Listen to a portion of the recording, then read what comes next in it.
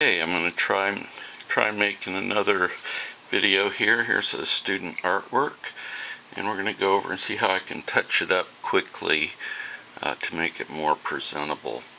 Uh, basically, I like to point out the positive aspects of the whole thing. As we have a darker sky and it gets lighter as you get lower. We're going from cool to warm. We got three main features, so it's very simple lake, tree, sun. I think there were some mountains that got uh, blended away.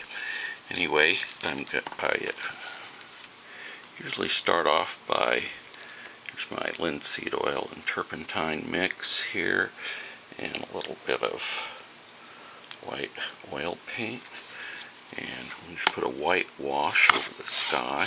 That's the way I like to do it, and. Uh, to make the sky lighter, make the landscape stand out more distinctly.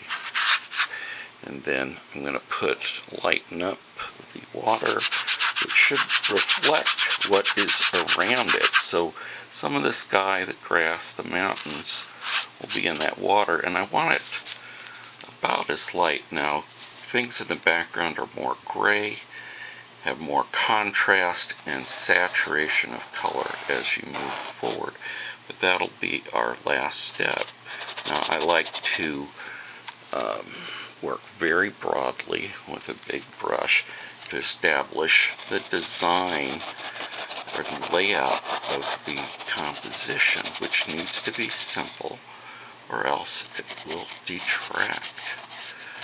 Uh, so I'm going to put a few highlights of white here, but very broad. I want things in bands, so establish a rhythm. Rhythm, balance, harmony are the key elements of beauty.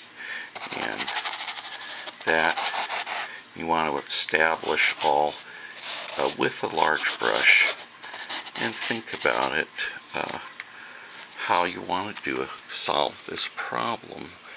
Hey, putting a sun up in the sky is a little trite, but you know, if that's what's in the soul of somebody that they want to express, very meaningful to me and important. I don't I don't want to when I'm doing this eliminate the expression of the soul that artist.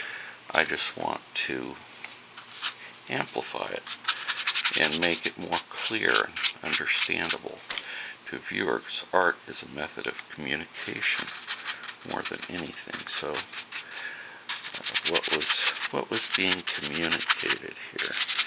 Question you ask is that is the goal of everything, every other element of art. So I've got some basic uh, balance in tones established. One of the simple first things that I do is look for lines to emphasize, make the picture more clear. So there's no one answer. This is just my own artistic license. I'm going to establish some horizon lines here. Maybe there's some grass here. Now, when you've got a pond, the edge across the back will be flatter or straighter than across the front because it's farther away and everything becomes smaller.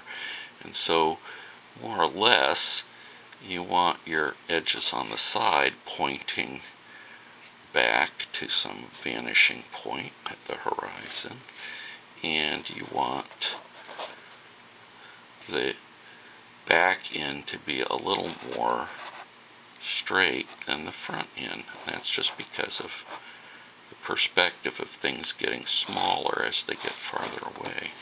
I'm going to outline that will all that gives the brain of the viewer cues of perspective and distance and depth. Well, I'm going to, as I said, things that are far away get very faint but this is sort of a dark line, so I'm going to brush it out. But I sort of picked out a distant part for a mountain range. Right here we got a tree that's sort of bent, but hey, as far as I'm concerned, to maintain those elements of art, a bent tree is fine. It doesn't need to be straight. And I want to preserve that because that's part of the, oh, handwriting. It's like a handwriting or signature, but it's this uh, artistic handwriting of that individual. So I don't want to alter his signature. Make it more clear. So add a little yellow. I like to go from blue to red to yellow. And in this distant mountain, I'm going to now go back, take, pick up a little blue paint, mix it with the white, and I'm going to go over that a little bit.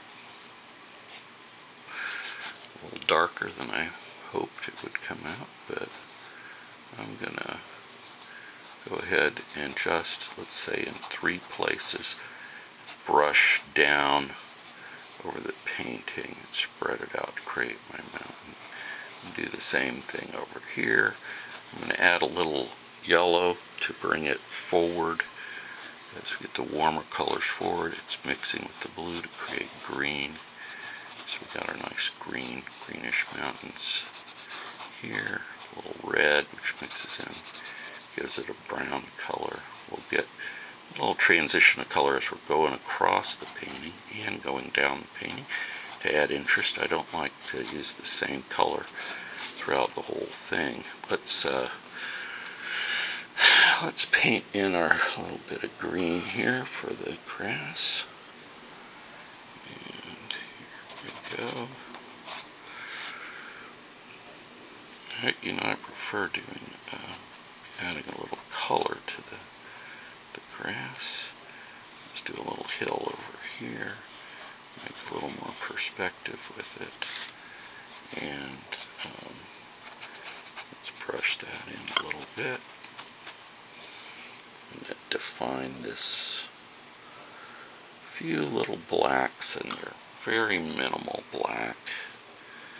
And just to put a little skeleton to the overall picture. As the brush goes across the painting, it runs out of paint. And I'm flip this up for some vegetation, brushing down, some quick strokes. There we go.